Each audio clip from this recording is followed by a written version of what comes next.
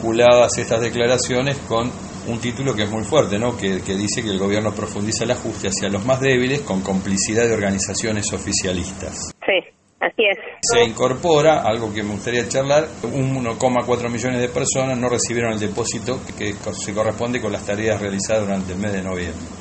Así es. ¿Cómo se, se salva esta situación? Si tuvieron al menos algún tipo de comunicación como para saber si esto tiene algún viso de solución. Mira, en general el cobro del potenciar son los primeros días del mes siguiente. O sea, lo que se trabajó en noviembre se paga los primeros días de diciembre. Eh, durante el mes pasado estuvo toda esta cuestión de que aparecieron las observaciones, de que el informe de la FIP, todo eso que llevó a que, eh, bueno, que hubiera distinta, distintas posturas dentro del propio ministerio, dentro del propio gobierno.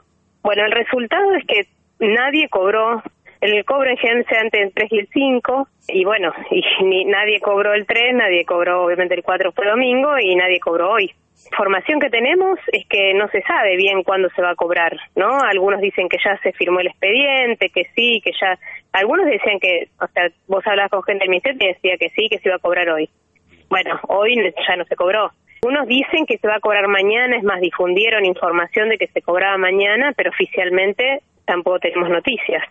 Y lo que hay son llamados, viste, informales. No hay ninguna comunicación formal. Si tuvieran información formal, nosotros decimos, bueno, que lo publiquen, lo publiquen desde la página del ministerio, no desde eh, lugares que después andas a ver eh, qué es lo que sucede. el problema es que, bueno, en primer lugar, todos los que realizamos tareas, que llevamos un control sobre esa tarea, que nos supervisan, que nos controlan cómo ingresamos al programa, qué es lo que hacemos y qué es lo que dejamos de hacer. Eh, no, no tenemos la culpa, digamos, de que haya otros que tengan malos manejos.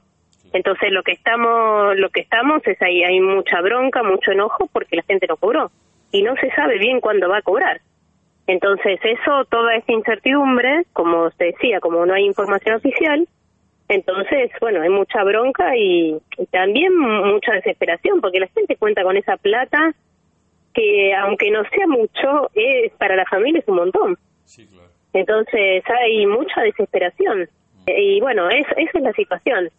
Nosotros lo que, o sea, el planteo es que todas, todas estas arremetidas que hubo de junio para acá, una parte importante fueron propias de linternas eh, del, gobierno y, las víctimas es la gente que honestamente está haciendo su laburo. Entonces, eso es lo que da mucha bronca y por eso mañana nos vamos a movilizar. Vamos a ir a pedirle a Tolosa Paz explicaciones o que dé la cara y que le diga a la gente eh, qué va a pasar con ese cobro. Sí, y cuando vos decís propias de la interna del gobierno, ¿qué estás leyendo? ¿Entre qué, qué, por qué cosa y entre quiénes y quiénes? Mira, para nosotros es, muy claro eso, porque la que empezó con este tema fue Cristina, que planteó públicamente, más o menos en junio, el tema de que el Estado había perdido el manejo de la política pública, hablando del potenciar trabajo, eh, después de eso apareció este informe que hizo Castañeto desde la FIP.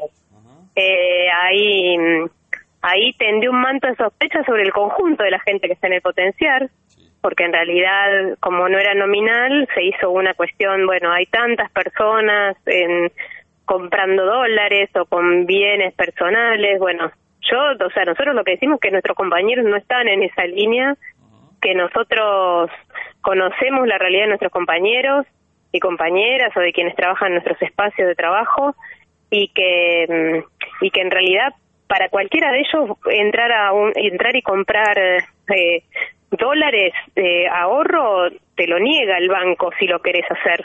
Porque no es que cualquier persona puede comprar dólares de cualquier manera. Hoy en Argentina es una, una cuestión que está muy restringida. Hay un montón de cruces. Eh, y lo mismo el ingreso al potenciar. A nosotros eh, constantemente nos, nos cruzan las personas que, que quieren ingresar al potenciar y si alguna de ellas, por algún motivo, por ejemplo, empezó a cobrar un salario en blanco, el mes siguiente ya no cobra. O si no fue a retirar su tarjeta al banco, al mes siguiente ya no cobra. Entonces hay un montón de controles que nosotros que nosotros tenemos que evidentemente otros no están teniendo. sí es cierto el informe de la FIP. Ahora, eh, ¿por los que sí cumplimos con todas las reglas y con todas las cuestiones tenemos que pagar por los que no lo hacen? O sea, eh, ahí en realidad lo que se está haciendo es dejar sin cobrar a, a todas las personas, aún a los que han trabajado en un contexto muy muy complicado. Ahora, cuando eh, eh, planteas este tema de que se decidió hacer un ajuste y que se busca recortar el potencial trabajo, imagino que de, del ajuste que se busca. Ahora, la parte que me, me gustaría detenerme es, vos decís que se intenta desacoplarlo del salario mínimo vital y móvil para pagar menos. ¿A qué referís específicamente? O sea, a ver, hay, hay otro dato más que no te mencioné cuando FECAS progresar.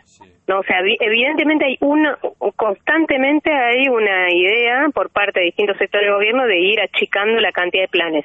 Ellos dijeron que iba a ser que la gente era porque comenzaba a trabajar. Bueno, eso no se dio. Los propios datos oficiales dicen que no es así.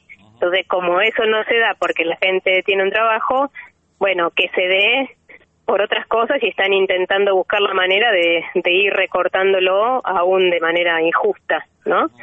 Eh, con respecto al salario mínimo vital y móvil es otra de las estrategias, o sea, el potenciar está atado al salario mínimo vital y móvil al monto, cada vez que aumenta el salario mínimo vital y móvil, el potenciar de trabajo aumenta, porque está pautado que es el 50%. Bueno, ya la ministra trajo Kelly dijo que había que desacoplar eso, porque si no, el salario complementario sigue manteniendo su valor. Eso, entonces eso también implicaría, si lo desacoplan, implicaría también utilizar menos recursos para el potencial trabajo. El problema es que nosotros lo que decimos es que tiene que haber una transparencia en el potencial trabajo y una distribución justa, no que, digamos, que sea un, beneficio para los oficialistas. ¿sí? Entonces, lo que pasa es que ahora como se están tirando entre ellos, bueno, saltan cuando les tocan algunos intereses, no están saltando cuando el problema es con el conjunto de, de los participantes del programa. De allí que hayas dicho hoy que, que los funcionarios de las organizaciones oficialistas que encabeza Pérsico reaccionan cuando los tocan a ellos. Claro, claro, porque nosotros decimos, bueno, a ver, ahora hay una investigación de la FIP. ¿Cómo puede ser si a nosotros tenemos un control? Los compañeros nuestros si tienen una cuenta no le dejan abrir otra cuenta, eh, si, si llegan a, tener un trabajito en blanco los dan de baja, si no van al banco le, le cierran la cuenta, eh, si no van al banco a retirar la tarjeta. O sea, no es que no hay controles, hay controles. O sea, cuando eso sucede, los compañeros nuestros, chau, se quedan sin el plan. ¿Cómo puede ser que haya tanta cantidad de gente en situación irregular?